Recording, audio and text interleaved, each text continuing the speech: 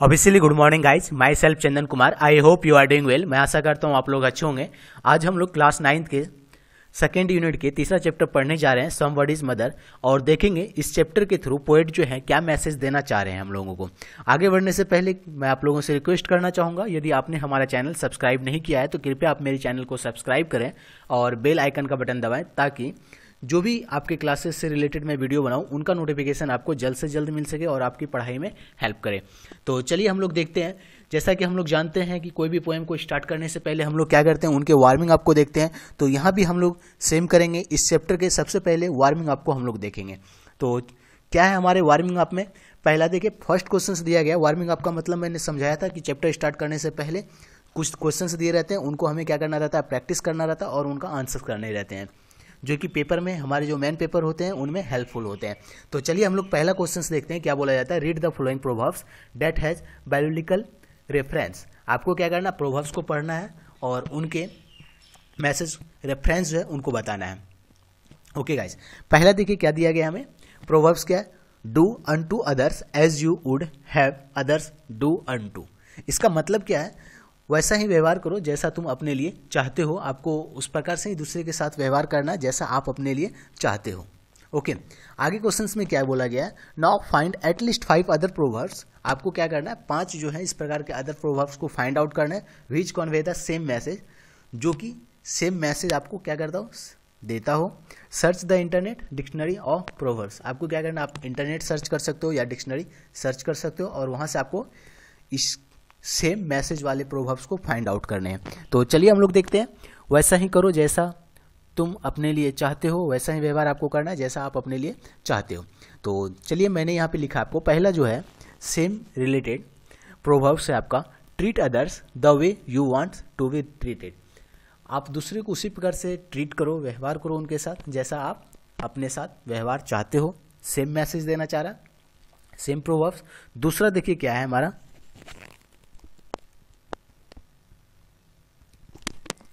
Life is echo what you send it come backs out life क्या आपका eco है? जो आप भेजोगे, वो आपको क्या मिलेगा? रिटर्न मिलेगा। तो सेम है वही। वैसा ही व्यवहार करो, जैसा तुम चाहते हो या फिर जैसा आप व्यवहार करोगे, आपको वैसा ही फल मिलेगा। सेकेंड का भी मतलब आपका सेम है। तीसरा देखिए as you sow so shall you reap जैसा आप बोगे वैसा आप काटोगे या आप सुने होंगे, जैसा यानी कि आप आज कर्म कर रहे हो, वैसा ही आपको फल मिलने वाला है। ये भी सेम आपका मैसेज दे रहा है, जब वैसा ही करो, जैसा तुम अपने लिए चाहते हो। सेम मीनिंग है। नेक्स्ट प्रोवर्ब्स देखिए। Love people the way you want to be loved आपको दूसरे व्यक्ति से उसी प्रकार प्यार कीजिए आप, जिस प्रकार से आप अपने आप को प्यार करना चाहते हैं। सेम मीनिंग दे रहा है, वैसा ही व्यवहार करो, जैसा तुम अपने लिए चाहते हो का। ओके नेक्स्ट जो है फाइव मैंने लिखा है। Love your neighbour like yourself अपने जो पड़ोसी हैं, आपके आसपास जो भी चीज़ है, उनको इस प्रकार से प्यार करो जैसे आप अपने आप को प्यार करते हो। सेम मीनिंग दे रहा है, वैसा ही व्यवहार करो जैसा तुम अपने लिए चाहते हो। Okay guys these are the five proverbs which give the same meanings as do unto others as you would have others do unto you okay guys now come to the second question what we have to say here study the following sets of word आपको क्या करना है यहाँ पे? जो कुछ set दिए गए उनको स्टडी करना है, पढ़ना है। तो चलिए देखते हैं सेट ए दिया गया और सेट बी दिया गया है। सेट ए में क्या बोला आपको? Please happy joyful ecstatic okay और सेट बी में क्या बोला है? लेटर वर्ड्स सेंटेंस पैराग्राफ्स देखिए सेट ए और सेट बी में कॉमन क्या है? कि देखिए, एक कोई भी चीज़ है तो उनको बढ़ते क्रम में लिखा गया असेंडिंग ऑर्डर में लिखा गया सबसे पहले क्या होता है? प्लीज़ होता है, आदमी खुश हुआ तो उनके बाद सॉरी प्लीज़ यानी किसी आदमी से वो खुश होता है तो वो क्या होता है? हैप्पी हो जाता है, बहुत ज़्यादा खुश हो जाता है, उनके बाद जॉयफुल इंजॉय करने लगता है। हर्षोल्लासित और एसेटिक यानी कि जॉयफुल से भी आगे। ओके ये क्या आपका असेंडिंग ऑर्डर में दिया गया? सबसे कम, उससे ज़्यादा उससे ज़्यादा और सबसे ज़्यादा। तो सेट बी में भी सेम देखिए। सबसे पहले जो होता है, किसी भी चीज़ हम लिखते हैं इंग्लिश में तो क्या होता है? लेटर से स्टार्ट करते हैं। लेटर के बाद क्या आता है? वर्ड आता है। और वर्ड के बाद क्या आता है? सेंटेंस आता है। और सेंटेंस के बाद क्या बन जाता है? वो हमारा पैराग्राफ बन जाता है। तो ये सेट बी में है तो उसी प्रकार आपको देखिए क्या करना है आगे क्वेश्चन दिए गए। Note the words in the sets are arranged in the ascending order जो वर्ड्स दिए गए हैं, ये सेट में सेट ए और सेट बी में, वो किस ऑर्डर में? असेंडिंग ऑर्डर में है। Each word showing a higher degree than the previous one जितने भी प्रत्येक वर्ड जो है, वो क्या कर रहे हैं? अपने पहले वाले वर्ड से बड़े हैं हायर डिग्री शो कर रहे हैं। Now rearrange the following groups of words in the ascending order आपको क्या करना है? कुछ वर्ड्स दिए गए, उनको आपको असेंडिंग ऑर्डर में क्या करना है? री अरेंज करना है। जो सेट ए और सेट बी में दिया गया, उसी बेसिस पे आपको क्या करना है? अरेंज करना है। तो चलिए हम लोग देखते हैं। पहला हमें क्या दिया गया? एडल्ट दिया गया एज दिया गया इन्फेंट दिया गया और यूथ दिया गया। इसका मतलब एडल्ट क्या होता है? बीच वाली एज हो गया। एज मतलब क्या हो गया? बूढ़ा व्यक्ति गया। इन्फेंट मतलब क्या हो गया? जब बच्चे जन्म लेते हैं, उसको हम लोग क्या बोलते हैं? इन्फेंट बोलते हैं। और यूथ क्या हो गया? इन्फेंट के बाद जो वाला जो स्टेज है सेकेंड स्टेज जो है, वो क्या कहलाता है हमारा? यूथ कहलाता है। तो इनको हम लोग अरेंज करेंगे। सबसे पहले क्या हो जाएगा? हमारा इन्फेंट हो जाएगा जब बच्चे जन्म लेते हैं, जन्मजात। उनके बाद बच्चे जो थोड़ा बड़े होते हैं, उनको हम लोग यूथ बोलते हैं। और जब उनसे बड़ा होते हैं, जब पंद्रह, सोलह के सोलह के पार हो जाते हैं, उनको हम लोग क्या बोलते हैं? अडल्ट बोलते हैं।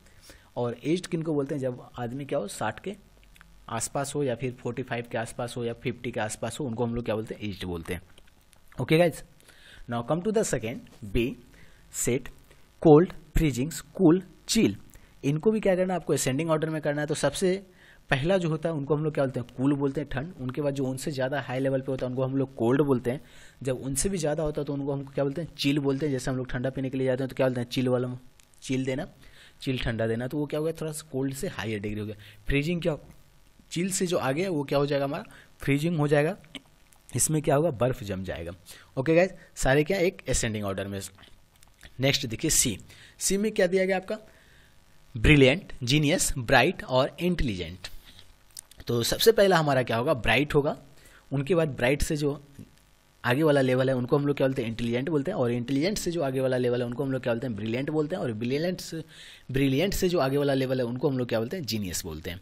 Okay now come to the set D mountain peak summit okay mount और हिल तो सबसे जो छोटा लेवल का होता है, इनमें हम लोग क्या बोलते हैं, उनको माउंट बोलते हैं। उनके बाद हिल आता है हिल आता है और उनके बाद माउंटेन आता है और लास्ट वन क्या आता है, हमारा पीक और समिट आता है। ओके गाइज़ और now come to the third question third question में क्या बोला गया आपको? Prepare similar words change using the following idea आपको फ्लोइंग आइडिया यूज़ करके क्या करना है? सिमिलर वर्ड्स को राइट डाउन करना है। जैसे देख लीजिए रेन और ड्रिजल्स दिया हुआ था तो आपको क्या करना है? एक टाइप के वर्ड्स के लिए आपको पाँच वर्ड्स लिखने या फिर उनसे ज़्यादा आप जितना लिख सकते हैं। सिमिलर वर्ड्स आपको लिखने हैं। तो देखिए रेन को हम लोग क्या बोलते हैं? ड्रिजल भी बोलते हैं शॉवर भी बोलते हैं डाउन पोर भी बोल सकेंगे डल्स भी बोलेंगे थंडर ब्रेक भी बोलेंगे। ओके गाइस सेम उसी प्रकार विंड के लिए आप क्या लिख सकते हैं ब्रिज लिख सकते हैं ड्राउट्स लिख सकते हैं गेल लिख सकते हैं हॉरिकेंस लिख सकते हैं विंड स्टॉम्स लिख सकते हैं क्योंकि ये सारे क्या है विंड्स के ही टाइप्स हैं या फिर सिमिलर वर्ड्स हैं जो विंड से मिलते जुलते हैं ओके गाइस मिलते हैं ओके नेक्स्ट क्या हमारा सनसाइन है सनसाइन के लिए हम लोग क्या लिख सकते हैं वार्म लिख सकते हैं बैलमी लिख सकते हैं सल्ट्री लिख सकते हैं हॉट और ब्लैकिंग लिख सकते हैं okay guys now come to the next water body water body के लिए हम लोग क्या लिख सकते हैं पुल लिख सकते हैं लेक लिख सकते हैं रिवर लिख सकते हैं सी लिख सकते हैं और ओशन लिख सकते हैं, क्योंकि हर जगह आपको क्या मिलेगा? वाटर मिलेगा। और सारे क्या वाटर बॉडी है। नेक्स्ट देखिए साइज़ साइज़ यहाँ पे किन के लिए हमको लिखना है? बिग के लिए लिखना है। बिग में पहले दिया गया था तो बिग के लिए हम लोग साइज़ में क्या लिखेंगे? बिग लिखेंगे लार्ज लिखेंगे ह्यूज लिखेंगे इन और मस लिखेंगे। ओके गाइज़ ये सारे क्या है? बिग को ही डिफाइन करता है। या फिर साइज़ को साइज़ किन के? विथ रिस्पेक्ट टू बिग फिर से साइज़ है हमारा, लेकिन with respect to small small के लिए जो हम लोग साइज़ लिखेंगे, क्या लिखेंगे? स्मॉल लिटिल टीनी और मिनट ओके गाइज़ ये था हमारा वार्मिंग अप और अब हम लोग आते हैं अपने एक्सरसाइज पे सम वर्ड इज़ मदर इनके हम लोग समेरी आज देखेंगे। तो चलिए देखते हैं सबसे पहले समेरी पहला पैराग्राफ में क्या बोला गया? The woman was old and ragged and grey and bent with the chill of a winter's day the streets were white with a recent snow and the woman's feets with a is were snow देखिए क्या बोला गया है कि एक women जो एक बूढ़ी women जो है, वो क्या कर रही है, रोड के किनारे खड़ी है और ठंड के चील में, बहुत ज़्यादा ठंड पड़ रही है, उनमें वो झुकी हुई है, क्योंकि बूढ़ी हो गई तो उनकी कमर भी क्या हो जाएगी, झुक हो, झुक जाएगी और वो पूरे दिन समर डे में क्या हुई, झुकी हुई है और वो स्ट्रीट में खड़ी खड़ी है। जिस स्ट्रीट में क्या है आपका वाइट विथ रिसेंट स्नो, यानी कि तुरंत ही क्या हुआ, अभी बारिश हुआ है किनके स्नो का बर्फबारी हुई है बर्फ़ गिरी है। And the woman's feet with the age were snow और जो ओमेंस की फीट है, वो कहाँ पर है? वो स्नो के ऊपर है, वो उसमें फंसी हुई है या फिर वहीं पे खड़ी है। Okay at the crowded crossing she waited long jostles side the by the careless throngs of human beings who passed her by unheeding the glance of her anxious eye देखिए, वो खड़े होकर क्या कर रही है? वेट कर रही है कि वो क्या करेगी? रोड को क्रॉस करेगी, लेकिन क्राउड होने के कारण वो रोड को क्रॉस नहीं कर पाती है और वो रोड पर एक किनारे क्या रहती है, खड़ी रहती है और ह्यूमन बींग्स को देखती रहती है अपनी एनेक्सियस आँखें से, या फिर बोल सकते हैं गुस्सेली भरी आँखें से, या फिर अनहिडिंग यानी कि बेबस आँखें से वो क्या करती है, देखती रहती है। जो पब्लिक होते हैं, वो क्या करते हैं, आते हैं, जाते हैं और उनको क्रॉस करते हैं, लेकिन उन पर कोई भी ध्यान नहीं देता और बिना उनके केयर किए हुए सब एक दूसरे क्रॉस कर रहे थे क्रॉस कर रहे होते हैं। Okay guys down the streets with the laughter and shout glad in the freedom of schools let out came happy boys came happy boys like a flock of sheep hailings the sun field white and deep past the women's so old and grey hastened the child on their way देखिए, क्या होता है कि अब ऐसा एक street से उनको आवाज़ सुनाई पड़ती है विथ क्या कहते चिल्लाने की और बच्चे शोर सुलावे करते हुए आ रहे हैं। जैसे कि उनको क्या मिला हो? स्कूल से छुट्टी मिल गई हो। वो बच्चे आ रहे हैं और आते हैं, बच्चे क्या रहते हैं, सारे खुश रहते हैं और वो एक झुंड में जिस प्रकार से भेड़िए एक झुंड में चलते हैं, उसी प्रकार से वो बच्चे भी क्या थे एक झुंड में आ रहे थे, हेलिंग द स्नो।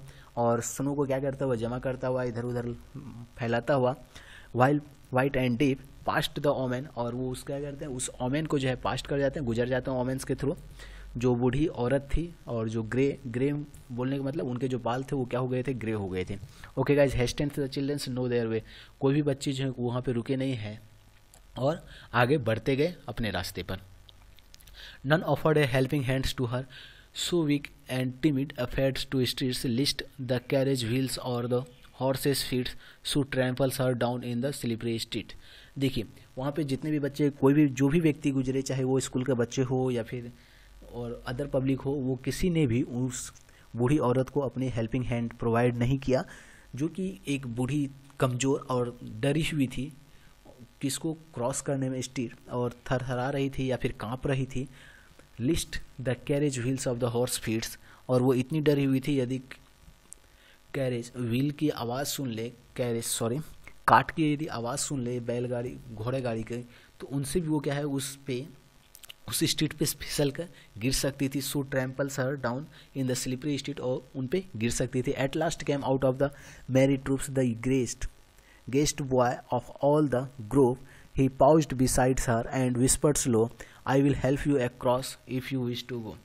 उनके बाद क्या होता है? अंत में एक बच्चा आता है, एक लड़का आता है, जो कि वो सारे लड़के से अलग थे और वो आने के बाद वो उस बूढ़ी औरत के पास खड़ी हो जाती है और उनसे बोलती है धीरे आवाज़ में उनसे बोलती है I will help you across if you wish to go यदि आप चाहो तो मैं आपको क्या करवा सकता हूँ? आपका मैं हेल्प कर दूँ आपको क्रॉस करने में रोड को क्रॉस करने में।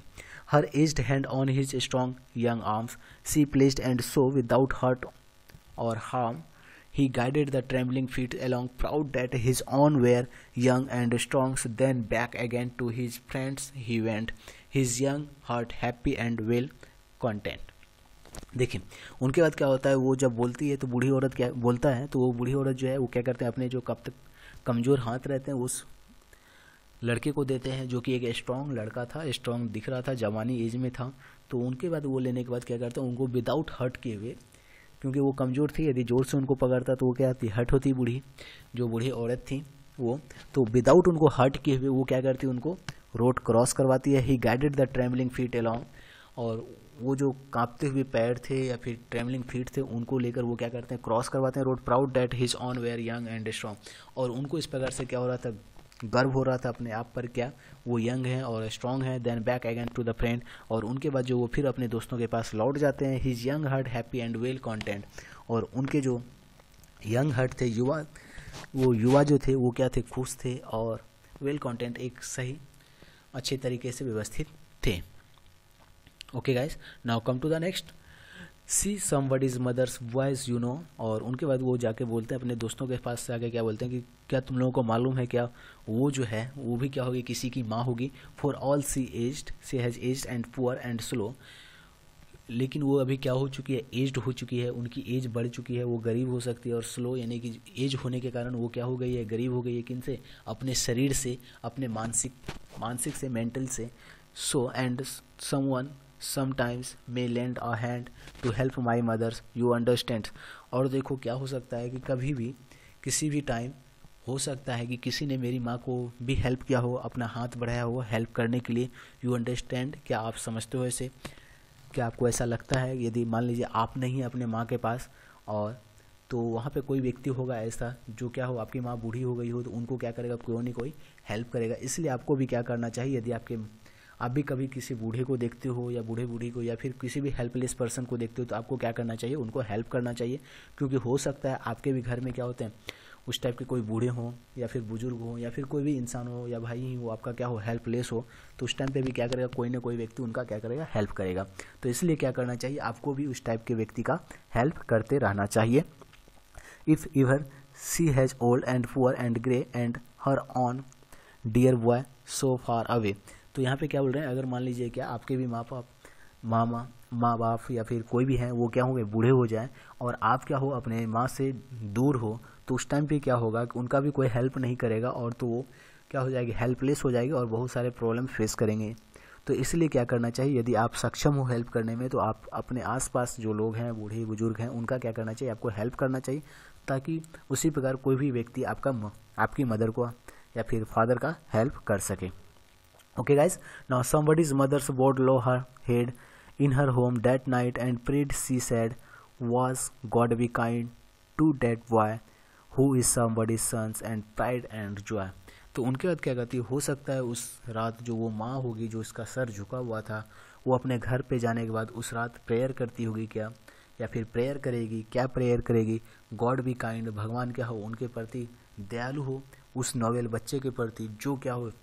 किसी का बेटा होगा और उनको अपने आप पे गर्व है, वो अपने लाइफ को एंजॉय कर रहे हैं या फिर वो किसी का हेल्प कर रहे हैं।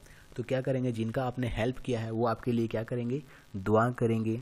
आपके मम्मी, पापा या फिर जिनको भी है, वो दुआ करेंगे उनके लिए। ओके गाइस और आपके लिए भी। तो इसलिए क्या करना चाहिए? जब भी आप किसी को भी देखते हो, किसी भी बूढ़े, बुज़ुर्ग या फिर किसी भी हेल्पलेस पर्सन को देखते हो तो आपको क्या करना चाहिए? उनका हेल्प करना चाहिए, ताकि वो कंडीशंस कभी आपके फैमिली के भी साथ हो तो आपका भी फैमिली को कोई हेल्प कर सके। ओके गाइस, क्योंकि हमें क्या बनाना है एक ऐसा सोसाइटी बनाना है, जो कि क्या करे, एक दूसरे का हम काम आ सके। राइटर जो है, यही मैसेज देना चाहते हैं आप लोगों को। और राइटर इनके हैं, Mary Dow Brine. Okay guys, it is the summary of our somebody's mothers chapter ये हमारा सैमरी था। और नेक्स्ट डे जो है, हम लोग इनके क्वेश्चन आंसर को देखेंगे। यदि आपको ये वीडियो अच्छी लगती है तो आप अपने दोस्तों के साथ शेयर करें और बताएँ। और साथ ही साथ, आप चैनल को सब्सक्राइब करें और बेल आइकन का बटन दबाएँ।